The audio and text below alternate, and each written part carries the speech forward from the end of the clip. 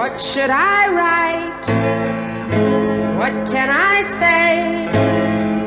How can I tell you how much I miss you?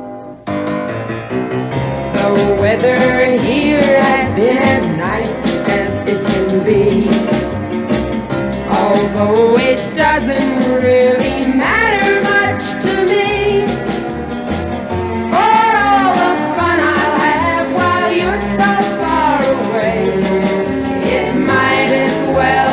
rain until September.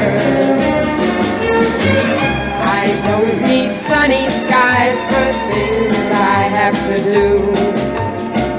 Cause I stay home the whole day long and think of you.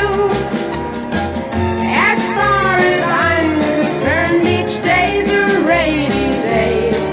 So it might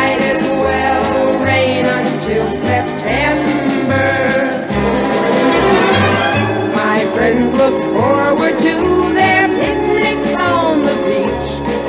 Yes, everybody loves the summertime. Oh, but you know, darling, while your arms are out of reach, the summer isn't any friend of mine.